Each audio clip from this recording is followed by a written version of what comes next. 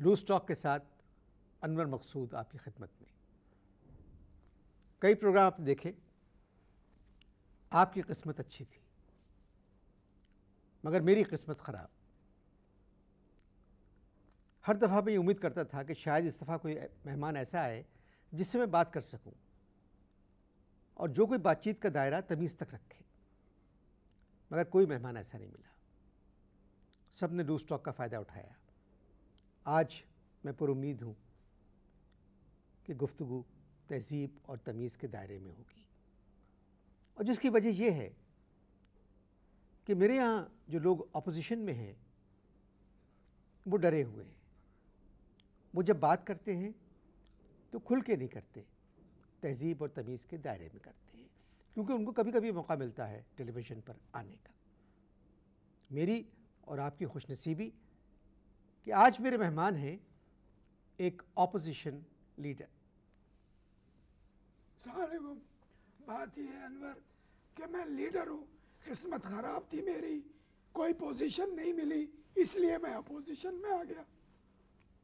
सुबह आपने एक मुश्किल को बड़ा आसान कर दिया। ये कह के कि अपोजिशन लीडर जो होते हैं अगर उनको पोजीशन मिल जाए तो वो अपोजिशन में नहीं रहते। नहीं जो जो तुमने बात की मैंने उसका जवाब दे दिया। अब आप डिटेल में मत जाइए इसकी। आपने कितने इलेक्शन लड़े? जितने इलेक्शन हुए यहाँ पर। कभी जीते आप? कौन? आप। मेरा गला बैठा हुआ है। इसका फ़ायदा उठाने की कोशिश ना करना। देखो मैं तुम्हें एक बात बताऊँ। मेरा सवाल था कभी आप इलेक्शन जीते? मैं तुम्हें वही बता रहा हूँ। मैं तुम्हें वही बता रहा हूँ कि इस वक्त तुमको मालूम है फलस्तीन में क्या हो रहा है? मेरा सवाल था कभी आप इलेक्शन जीते? मेरी बात पूरी होने दो। मेरा सवाल था कभी आप इलेक्शन जीते? तुम लोगों में ये खराबी है कि बिला वजह जो है अपनी काबिलियत से सामने वाले को दबाने की कोशिश करते हैं। लेकिन इस वक्त जो आदमी तुम्हारे सामने बैठा है वो कमज़ोर नहीं है। फलस्तीन में क्या हो रहा है? फलस्तीन के अंदर क्या हो रहा है? मुसलमानों के साथ क्या जुल्म हो रहा है? वो हम सब देख रहे हैं। तो फिर सब देख रहे जो जब तुम देख रहे हो तो फिर तुम फलस्तीन पे बात करो। हर इलेक्शन में हिस्सा लिया। कभी आप जीते? अजीब जाहिल आदमी आप माफ़ कीजिएगा। मैं फलस्तीन जैसे इंपॉर्टेंट इशू की बात कर रहा हूँ। आप इलेक्शन के पीछे पड़ गए। चार नंबर डाले इलेक्शन को। मैं आपको एक बात बताऊँ अपना लेवल इंटरनेशनल रखो। अगर तरक्की करनी है तो इंटरनेशनल लेवल पे आना पड़ेगा जब जाके हमारी बात सुनी जाएगी। सर मैं आपकी बात मानता हूँ। मगर मेरा प्रोग्राम फ़लस्तीन पे नहीं है। प्रोग्राम है आप पर। अजीब आदमी हो। यानी तुम अपोजिशन लीडर से कह रहे हो कि मैं फ़लस्तीन पे बात ना करूँ मुसलमान पे बात ना करूँ। किस किस्म के आदमी हो? हेमा को तुम बिल्कुल जाहिल लग रहे हो मुझे इस तरह की बातों से। Sir please mind your language नहीं तो मुझसे बिल्कुल लूज टॉक मत करना अनवर मैं बता रहा हूँ। सीधी बात मैं फलस्तीन की बात कर रहा हूँ फलस्तीन पे रहो। लूज टॉक में फलस्तीन का मसला नहीं हो सकता। कौन? क्यों नहीं उठ सकता? मैं उठा रहा हूँ। मैं एक अपोजिशन लीडर हूँ। आप बताओ मुझे कोई पाकिस्तान के अंदर एक लीडर बताओ जिसने फलस्तीन पे आवाज़ उठाई हो। मैं एक वाहिद लीडर हूँ। Only I only I? मैं यानी सिर्फ़ मैं। अब तुम्हारी अंग्रेज़ी इतनी कमज़ोर है तो उसमें कोई क्या करे? मेरा सवाल था कि कभी आप इलेक्शन जीते? फलस्तीन में चले मैं फलस्तीन की बात करता हूँ। फलस्तीन का जो प्रॉब्लम है क्या फलस्तीन का क्या प्रॉब्लम है? क्या प्रॉब्लम है यार? तुम लोगों में ये खराबी है। अपने मुल्क में इतने प्रॉब्लम है। पहले उनको ठीक करो फिर फलस्तीन पे बात करना। फलस्तीन फलस्तीन फलस्तीन। अपने मुल्क के जो मसाइल है पहले उन पर बात करो। क्या बात कर?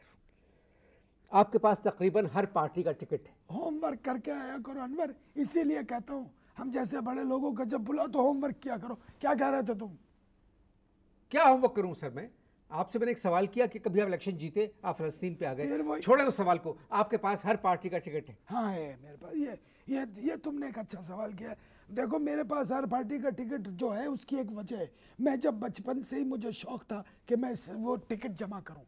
मैं टिकट जमा किया करता था और क्या करता था? थूक लगा के मैं चिपका देता था टिकट को कॉपी पे। मेरे शौक को देखते हुए तमाम पार्टियों ने मुझे जो है वो टिकट दिए और मैंने टिकट लेके चिपका दिए। मगर आपने हर पार्टी को थूक लगाया। बकवास है। थूक लगाए चूना लगाया। चूने और थूक में बड़ा फ़र्क होता है। अब ये तुम जैसे पढ़े लिखे लोगों को मालूम होना चाहिए। थूक और चूने का फ़र्क। और एक बात मैं तुम्हें बताऊँ ये याद रखो कि हम अपोजिशन लीडर हैं। आपने किसी हुकूमत का साथ दिया कभी? कभी साथ दिया आपने? क्यों दे हुकूमत का साथ? मुझे एक बात बताओ हुकूमत ने हमको कोई पोजीशन दी कि हम आप लोगों की कोई खिदमत कर सके फिर मैं बाहर रह के हुकूमत का साथ क्यों दूँ? हुकूमत का हिस्सा बनने के लिए इलेक्शन जीतना बहुत ज़रूरी है। बड़े झक्की आदमी हो बूढ़े होते जा रहे हो ना तुम। मैं जिधर बात को घुमा रहा हूँ जिसकी वजह से मैंने टॉपिक चेंज करके मैं फलस्तीन पे आया तो वापस वही बात कर रहे हो। इलेक्शन जीते इलेक्शन जीते। सर ये मैं रिपोर्ट क्योंकि मैं अपनी तरफ़ से बात करता नहीं। सारे सवाल लिखे हुए मेरे पास। सारी आपकी बातें मैं लिखी हुई। जितने इलेक्शन पाकिस्तान में हुए गिने चुने। चलिए मैं आपकी बात मान लेता हूँ गिने चुने। बल्कि सिर्फ़ चुने। देखो यहाँ पहले चुन लिया जाता है गिना तो बाद में भी नहीं जाता। और जो चुन लिया जाता है वो चुन लिया जाता है। सिर्फ़ चुने इलेक्शन होते आप दोबारा कहें आप क्या कह रहे हैं? मैं ये क्या कह रहे हैं आप? मैं ये कह रहा हूँ कि देखो इलेक्शन जो है ना गिने चुने होते हैं। बल्कि पहले चुने जाते हैं बाद में वोट गिने भी नहीं जाते। और जो गिनने वाले हैं वो पहले से जो है चुन लेते हैं। इसलिए इसको चुने चुने चुने इलेक्शन कहते हैं। मैडम नूर जान ने आपके इलेक्शन पे से पोल खोल दी हुजूर तक कह दिया। चुन लिया मैंने उन्हें सारा जहाँ रहने दिया। बात कर रहे हो? आप कैसी बात करते हैं? इलेक्शन बेईमानी नहीं होती। यार अगर ये कोई प्राइवेट आदमी कोई ऐसी बात करता मैं उसके थप्पड़ मार देता। कहते हो इलेक्शन में बेईमानी नहीं होती? अरे मैं खुद इलेक्शन में पिछली दफ़ा खड़ा हुआ था। मैंने अपने तीन वोट खुद डाले थे। आपको कुल तीन वोट मिले थे। हाँ, तीन वोट इसलिए मिले थे। देखो उसकी एक रीज़न है। तीन वोट मुझे इसलिए मिले थे मेरी जान कि मैं वोटरों को पैसा नहीं देता। मैंने अपने ही आपको दो दफ़ा पैसे दिए और जाके मैंने वोट डाला। मैं पैसे किसी को नहीं देता। वो तो आप अपनी फैमिली को भी नहीं देते। ये मेरे बेटे ने तुम्हें बताया होगा। ये बड़ा ज़ाती सवाल था। मैं इसकी माफ़ी माँगता हूँ आपसे। चलो तुम पहले आदमी हो कि जिसने इस मुल्क में कम अज़ कम मुझसे माफ़ी तो मांगी।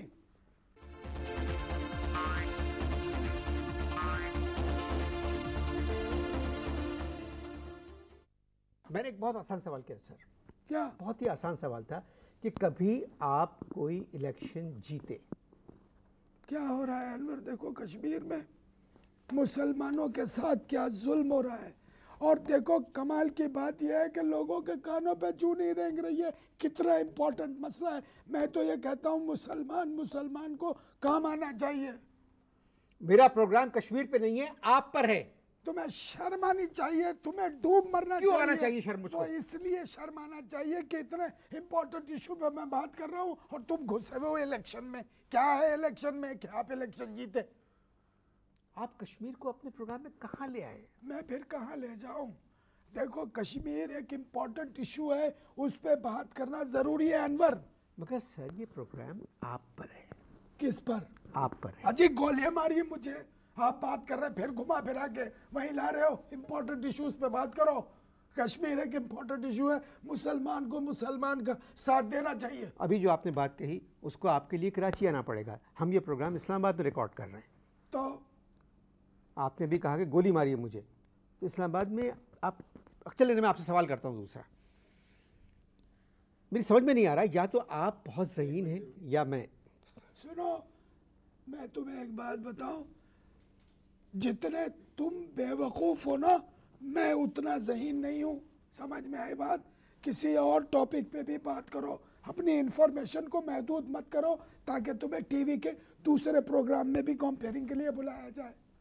कश्मीर का मसला अब सर बहुत संजीदा मसला है। वो अपनी आज़ादी के लिए लड़ रहे हैं। और हमारी दुआएँ उनके साथ हैं। चले आप कश्मीर बात करना चाहते हैं? आप बात करें मुझसे कश्मीर पे। यही तुम लोगों में खराबी है। अपने मुल्क के हालात ठीक नहीं है निकले हो कश्मीर पे बात करने के लिए। अबे पहले अपने यहाँ के तो हालात ठीक होने दो इंतज़ार करो यहाँ के हालात ठीक होने का। मेरे प्रोग्राम का वक्त 20 मिनट है 20 साल नहीं। मौजूदा हुकूमत के खिलाफ आप क्यों आए? मैं मौजूदा हुकूमत के खिलाफ इसलिए हूँ कि इन्होंने लौंडे भर लिए। कौन भर लिए? लौंडे लौंडे। आप जबान इस्तेमाल सही करें। अबे तो क्या कहते हैं हमारे जबान में लौंडे ही कहते हैं। नौजवान। नौजवानों को समझ में आए बात नौजवान भर लिए। अब इन नौजवानों को क्या पता कि उनकी पैदाइश से पहले यहाँ के हालात क्या थे और क्या हो रहा था यहाँ पर। तो ज़्यादा उम्र के सियासतदानों ने इस मुल्क के साथ क्या किया? इसका बताएँ मुझे आप। मैं बताता हूँ लेकिन इसका जवाब बहुत तवील होगा। तुम ये बताओ इस प्रोग्राम का पार्ट टू आएगा क्या? इसका पार्ट वन मुकम्मल हो जाए तो मैं शुक्र अदा करूँगा। ऑपोजिशन का मतलब क्या है? ऑपोजिशन का मतलब यह है कि हुकूमत जो भी अच्छा काम करे उसके खिलाफ बोलो। ये मतलब है? बिल्कुल यही मतलब है। मेरी समझ में नहीं आया। किसकी समझ में नहीं आया? मेरी समझ में नहीं आया। तो क्या अंग्रेज़ी में समझाऊं मैं तुम्हें? मुझे आपकी उर्दू समझ में नहीं आ रही तो अंग्रेज़ी का समझ में आएगी? अनवर बिल्कुल तमीज से बात करना। मैं तुमसे उम्र में बड़ा हूँ। आप उम्र मुझसे नहीं बड़े सगी से बड़े अरे नहीं यार मैं उस उम्र की बात कर रहा हूँ जो मैंने मैट्रिक के सर्टिफिकेट में लिखवाई थी। जनरल साहब खुद पावर में नहीं आए। अरे तो जनरल साहब जो है उसी दिन पावर में आ गए थे जिस दिन उन्होंने यूनिफॉर्म पहना था। मुल्क के हालात ऐसे हो गए थे मजबूरन उनको इख्तियार संभालना पड़ा। तो नवाब शाह उतर जाते। नवाब शाह उतर जाते वो भी पाकिस्तान का ही एक शहर है। पचास डिग्री वहाँ पड़ रहा है। अब सुना है कि न्यूजीलैंड को वहाँ मैच खिलाने ले जा रहे हैं। वो आधे मर गए उनको पूरा मरवा दो। सर ये सियासी प्रोग्राम में मैं आपका इंटरव्यू करूँ इसमें न्यूजीलैंड क्रिकेट टीम कहाँ से आ गई? नहीं तो कितना कोई तरीका होता है? वो ग्रिल हुए हुए बेचारे इस कदर पिट रहे हैं। कोई एक तहजीब और तरीका होता है बंद करो ठंडक का इंतज़ार करो उनको मरवा दिया उनकी रेपुटेशन खराब कर दी तीन तीन सौ चार चार सौ धड़ाधड़ रन बना रहे हैं। सर आप तो इस मुल्क की टोटल पॉलिसी के खिलाफ लग रहे हैं। आप स्पोर्ट्स को बीच में क्यों लेके आ रहे हैं? मुझे आपसे बात करने मैं जो हर चीज़ देखो मैं हूँ अपोजिशन और मैं ऐसे पॉइंट तलाश करता हूँ। यार बताओ ठंडे मुल्क में रहने वाले न्यूजीलैंडरी उनको बेचारों को यहाँ बुलवा न्यूजीलैंडरी कोई लफ्ज नहीं है। फिर क्या है? न्यूजीलैंडर्स। वही वही जो भी है लेकिन ये बात समझ में आ गई है ना तुम्हारे? काफ़ी है वो। उनको यहाँ बुला के खिलवा रहे हो। पचास डिग्री में अरे यहाँ के लोग पिघल जाते हैं तो वो तो बेचारे मोम के बने हुए होते हैं। क्या खेलेंगे वो? वो कौन सी सब्ज़ी है? उसका नाम भी सुना टीवी पे नहीं ले सकते। क्या खेलेंगे वो?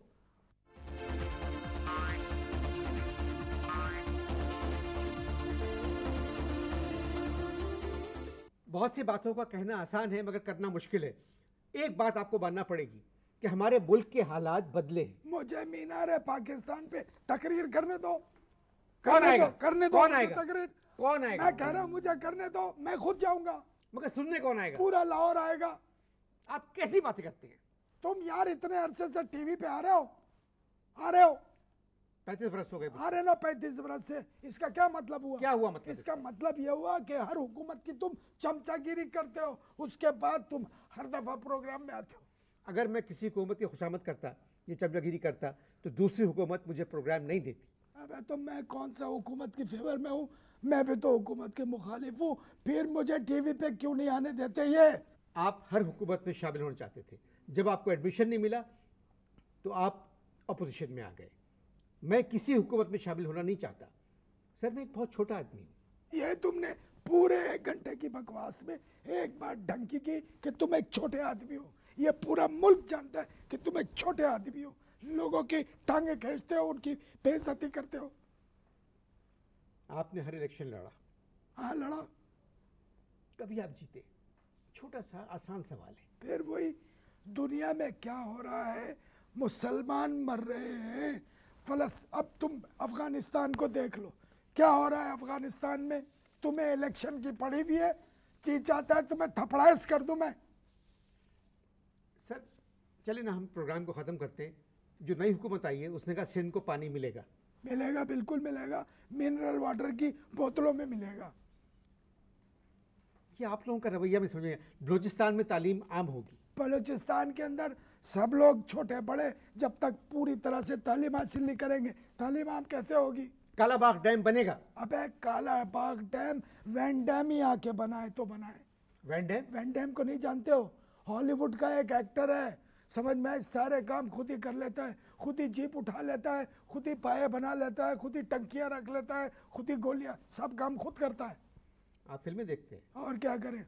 हुकूमत जब कोई मौका नहीं दे रही है फारिग बैठे हुए हैं तो घर में बैठ के कब तक आदमी बीवी का मुँह देखेगा? टीवी देखते हैं फ़िल्में देखते हैं। मगर आपकी बेगम और आपके बच्चों ने रेफरेंडम के दिन हाँ में वोट दिया। मेरे से मक्कारी की झूठ बोला है।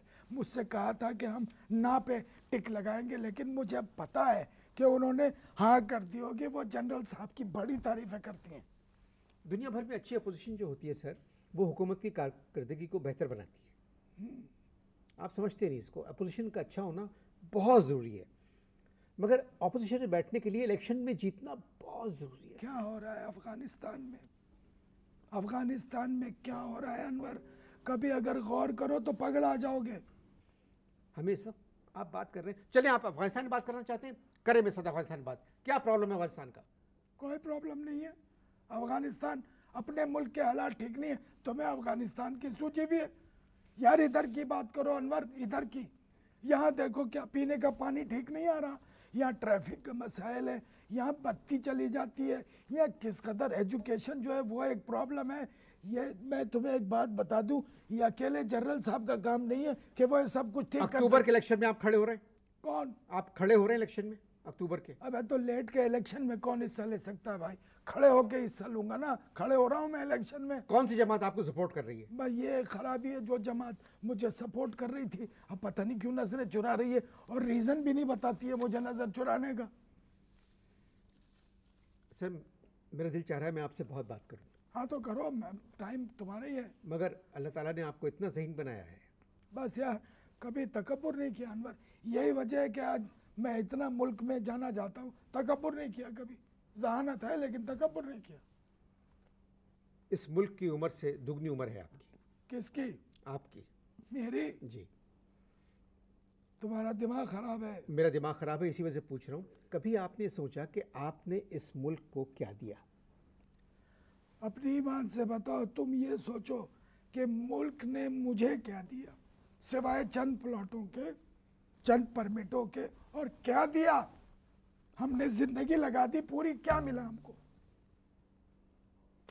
मेरे ख्याल में आपके प्रोग्राम का पार्ट टू भी आएगा। आना चाहिए क्योंकि देखो ये पहले एक तो चौवन साल के अंदर पहली दफ़ा मुझे मौका मिला टीवी पे आने का। समझे? तो इसका पार्ट टू ज़रूर आना चाहिए। अभी बहुत सारी बातें देखो अब तक मैंने कितने काम की बातें की ये कौम सीखेगी उससे सबक लेगी जो कुछ मैंने कहा है। इसलिए कि हमें बोलने का मौका मिलेगा तो लोगों को समझाएँगे ना कि हम क्या हैं। आपकी बातों से नाजरीन की आँखें खुल गई होंगी। बस मैं यही चाहता हूँ कि खुदा करे इस कौम की आँखें खुले। थक गया हूँ कह कह के।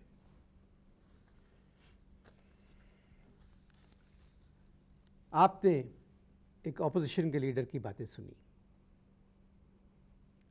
मैंने नहीं सुनी। अगर मैं सुनता तो शायद इस प्रोग्राम का रुख किसी और से चला जाता।